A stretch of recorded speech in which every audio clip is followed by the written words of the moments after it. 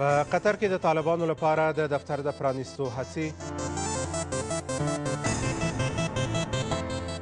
د افغانستان نه د برېټانوي ځواکونو د وتو په اړه د دې هېواد پرېکړه د ولسي جرګې لخوا د یوه نوي وزارت جوړېدل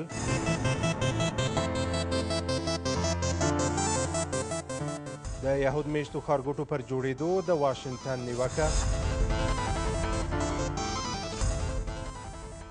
او په کابل کې د نفتي موادو د پلورونکو لپاره نوې نرخپاڼه اوس هم پوره خبرونه ویان سمیع الله جلالزی تر یوې میاشتې پورې به په قطر کې د طالبانو لپاره رسمي دفتر پرانیستل شي د سولې عالي شورا وایي د دې دفتر د پرانیستو لپاره هڅې روانې دي بلخوا کابل او اسلام آباد له بنده د ملا غني برادر د خوشې کېدو پر سر هوکړه کړې ده د سولې عالي شورا وایي پاکستان هوکړه کړې ټول هغه بندیان به له بنده آزاد کړي چې د سولې خبرو اترو ته لیوالتیا ښیي پاکستان ظاهرا د طالب مشرانو د خوشي کولو لپاره خپلې ژمنې عملي کوي پاکستان ویلي هغه طالبان به له زندانه خوشي کړي چې خبرو ته چمتووالی لري پاکستاني رسنیو ویلي کابل او اسلام آباد د ملا عبدالغني برادر د خوشي کولو په اړه موافقې ته رسیدلي خو دغه موافقه په رسمي توګه نه ده اعلان شوې رهایی طالبا که قسما در پیشواز سفر هیئت شورای عالی صلح با پاکستان صورت گرفت و قسما هم وعده شده بود که این پروسه را دوام میتن و رهبری طالبا او اشخاصی که در زندان هستند و اونها گناه دیگه نداشتن اینا فقط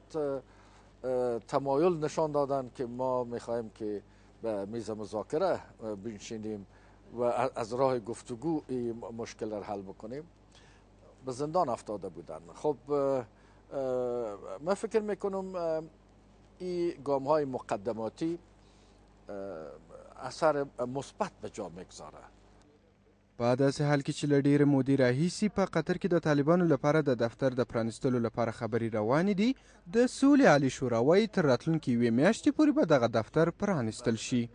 یک دفتر اساسی در قطر افتتاح خواهد شد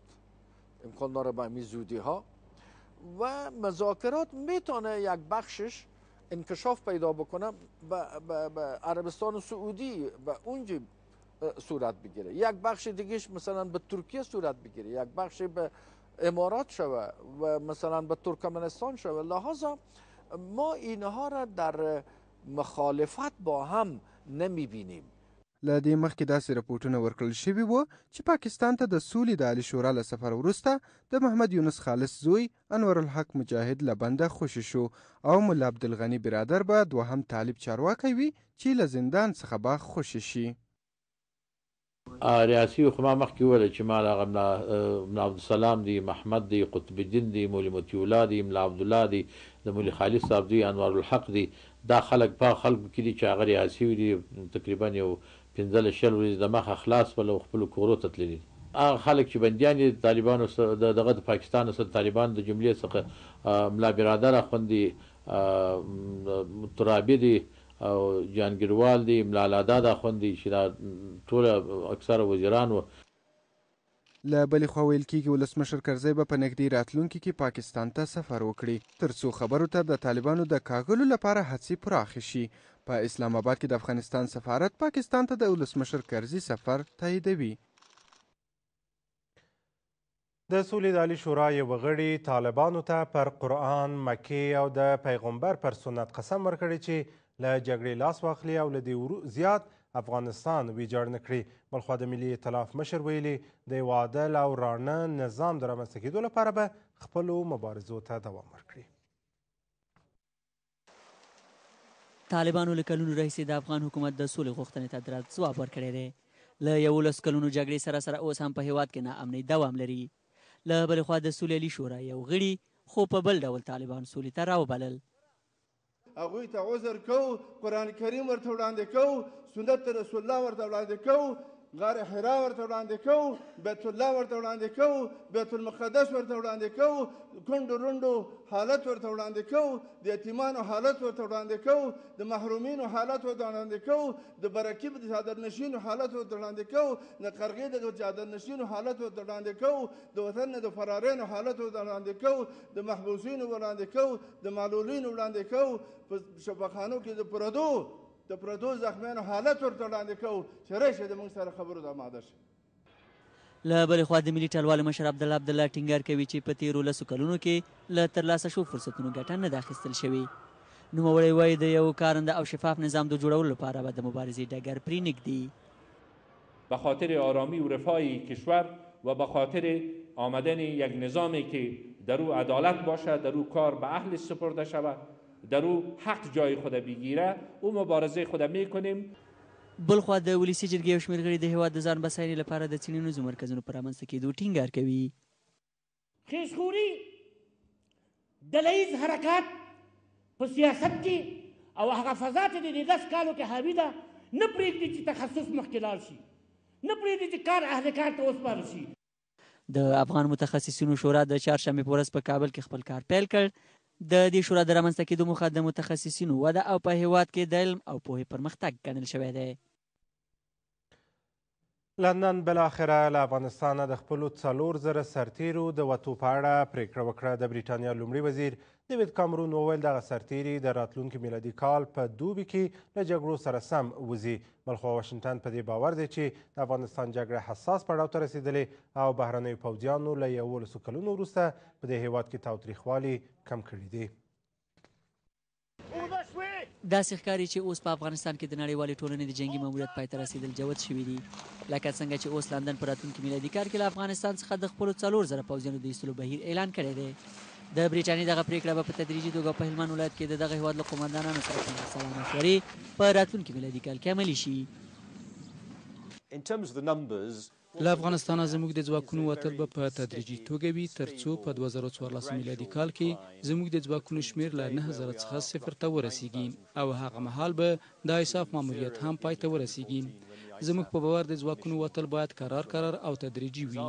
تر څو د دوه زره او څوارلس میلادي کال په پای کې له یو مخیز کمښت څخه مخنیوی وشي د ځواکونو دغه وتل د افغان پوځیانو د توانمنۍ د زیاتوالي په ځواب کې کیږي او د لیږد بهیر به هم تدریجي توګه ترسره شي.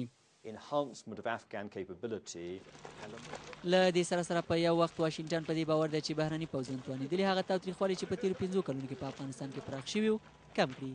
او همداراز طالبان هم ناتوانه کړي. د امریکا د دفاع وزیر لیون پریتا ټینګار کوي، تر اوسه هم د نړیوال امنیت په وړاندې د القاعدې او په هغې پورې د نورو تړلو ډلو له لوري ګواښونه موجود دي. اظهارات پنیتا در مورد افغانستان و جنگش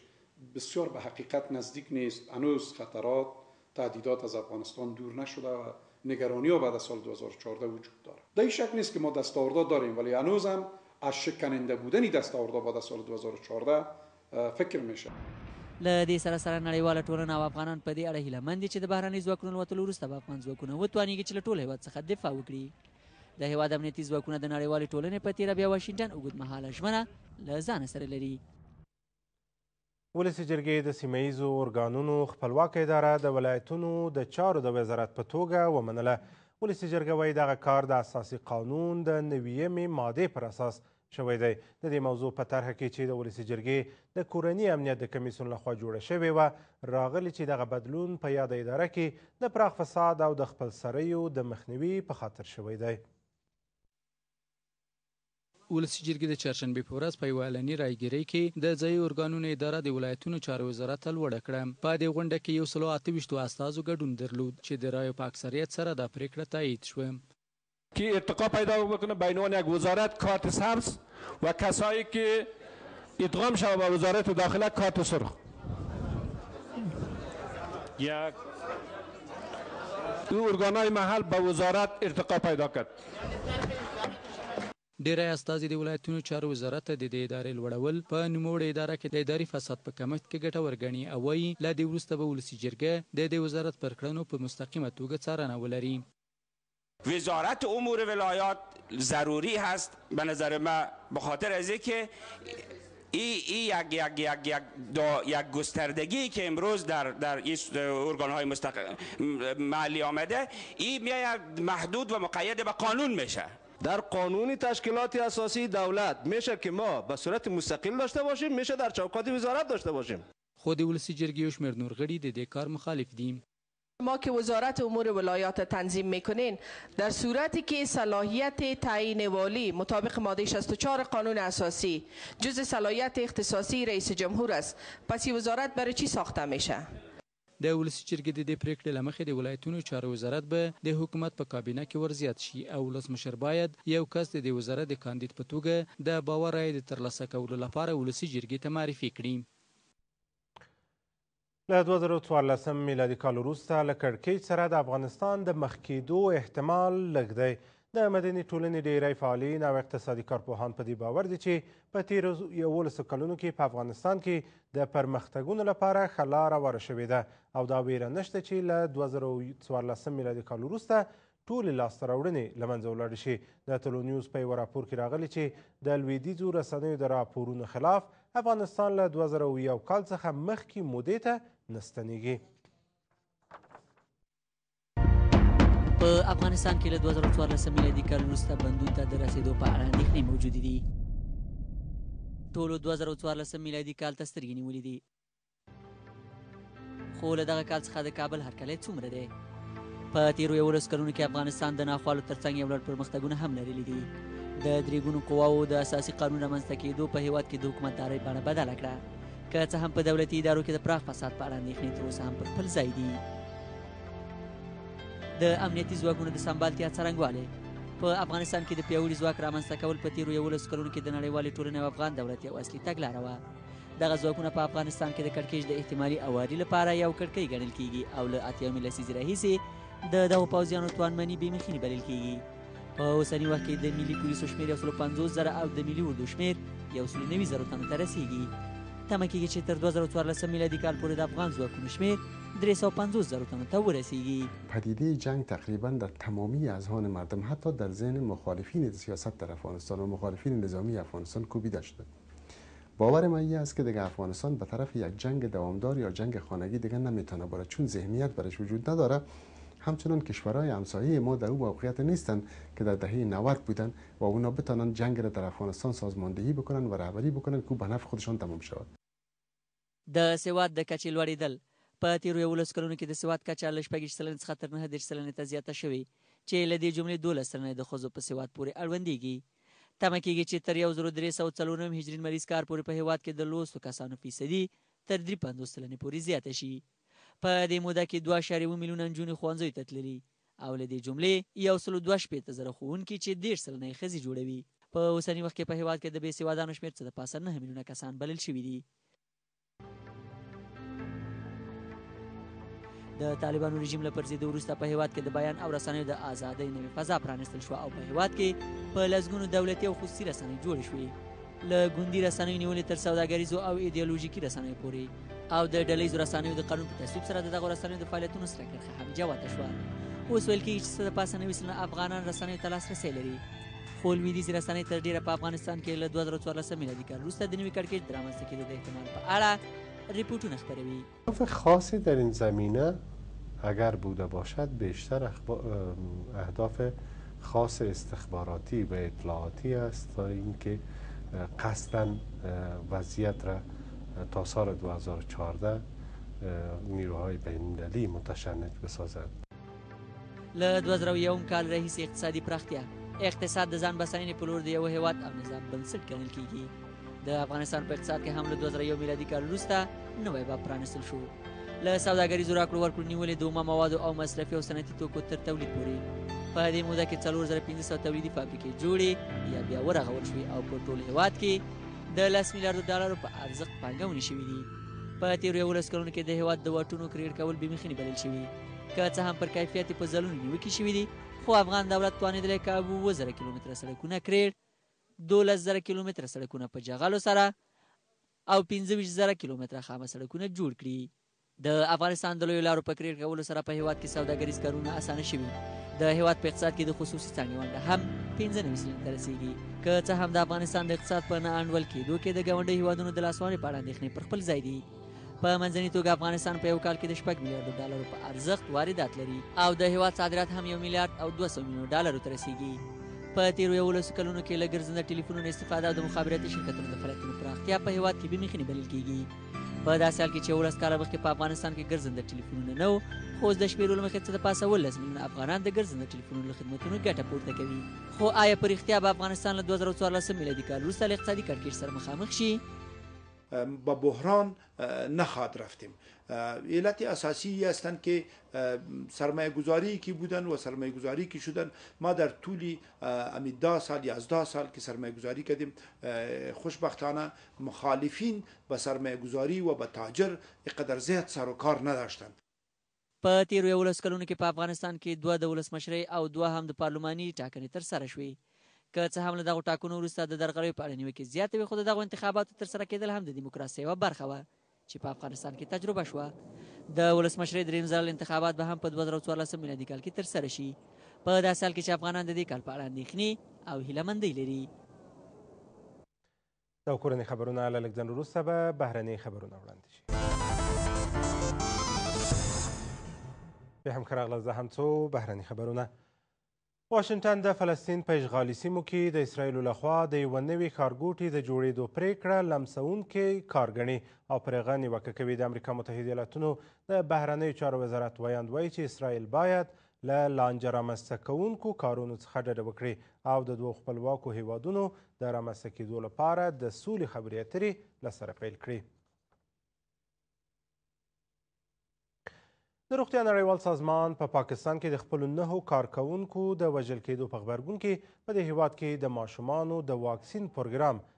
ځنډولی دی. د دې سازمان ویاند وایي، د یاد سازمان درې کارکوونکي نن په خیبر پښتونخوا کې وژل شوي او شپږ نور پرون په کراچۍ ښار کې د ناپېژاندو وسله والو کسانو لخوا په ډزو ووژل شول.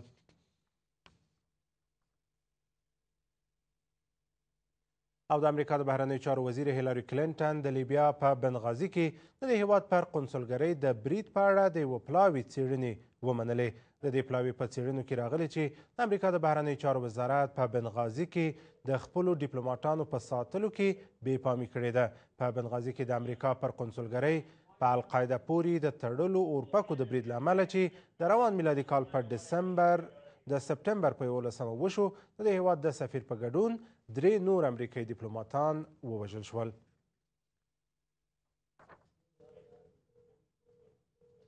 دا بهرني خبرونه له لږ ځنډ وروسته اقتصادي خبرونه وړاندې کیږي. بیا هم ښه راغلاست. د هم څو اقتصادي خبرونه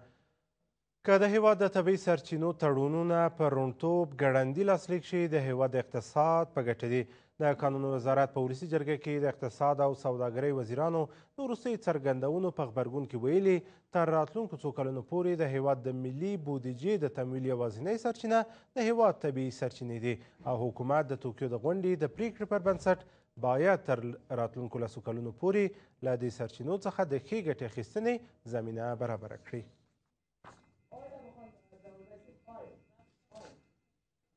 د مشرانو جرګې یو شمېر غړي د سوداګرۍ او صنایعو له وزارته غواړي چې په هیواد کې د ګازو د بیې د ستونزې د اواري لپاره جدي اقدام وکړي بلخوا د نفتي موادو د تصدۍ چارواکي وایي په نوې نرخپاڼه کې د هر لیتر نفتي موادو په بیه کې تر دوو افغانیو کموالی راغلی او دغه نرخپاڼه به ډیر ژر د کابل په بازارونو کې پلي شي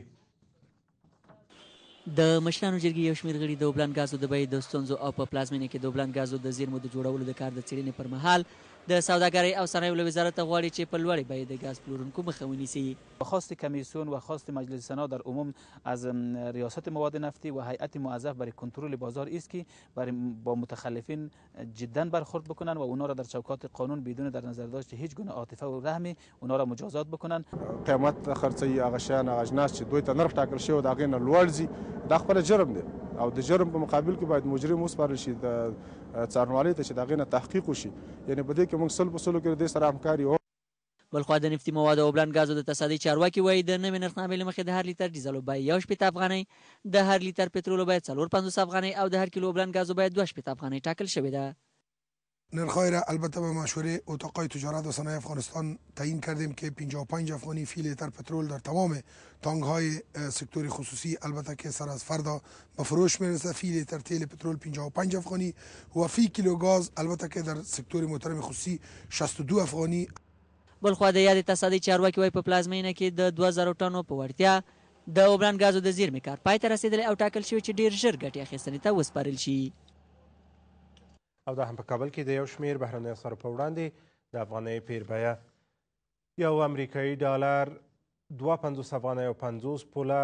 وبخښئ دوه پنځوس افغانۍ او پنځه ویشت پوله یو ایرو اته شپېته افغانۍ او نوي پوله د اماراتو یو درهم څوارلس افغانۍ او لس پوله زر هندۍ روپۍ نهه سوه او اویا افغانۍ زر ایراني تومانه شپاړس افغانۍ او اتیا پوله او زر پاکستانۍ روپۍ په پنځه سوه پنځه دېرش افغانۍ بدلېدې دا اقتصادي خبرونه لږ ځنډ وروسته سپورتي خبرونه وړاندې بیا هم ښه راغلاست دا هم څو سپورتي خبرونه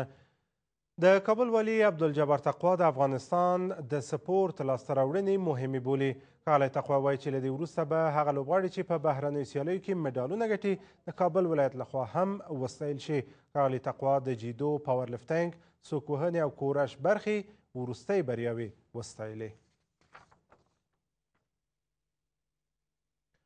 د زورخانه سپورتونو د نړیوال فدراسیون د ریاست ټاکنې د افغانستان په ګډون په ایران کې پای ته ورسېدې په دغو ټاکنو کې ایرانی محسن مهر علي زاده د اته څلوېښت رای په ګټلو سره د یاد فدراسیون د رئیس په توګه وټاکل شو همداراز له افغانستان څخه محمد انور جګدلک د پنځه څلوېښت رای په ګټلو سره د یاد فدراسیون د مرستیال په توګه وټاکل شو. په دغو ټاکنو کې له آسیا، اروپا، امریکا او افریقا وچو څخه د دوه پنځوس هیوادونو استازو ګډون کړی و.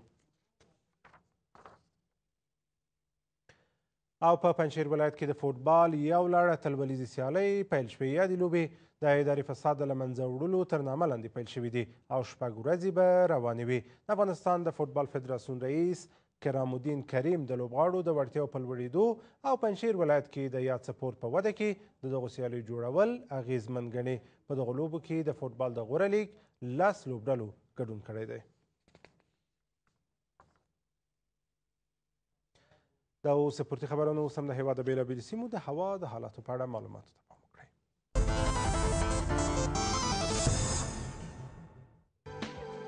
سبا کابل اسمان ځای ځای وریځ د تودوخې لوړه درجه نهه ټیټه منفي پنځه مزار شریف اسمان وریځ د تودوخې لوړه درجه درې ټیټه منفي څلور کندهار اسمان برک د تودوخې لوړه درجه دیارلس ټیټه دوه جلال آباد آسمان شین د تودوخې لوړه درجه 11 ټیټه 3 او په هرات کې آسمان شین د تودوخې لوړه درجه 10 ټیټه 0 د خپل ټولو همکارانو څخه په مننې زموږ د نن شپې خبري ټولګه په همدې ځای پای ته رسیږي تر بیا مو په لویه بخښونکي خدای سپارم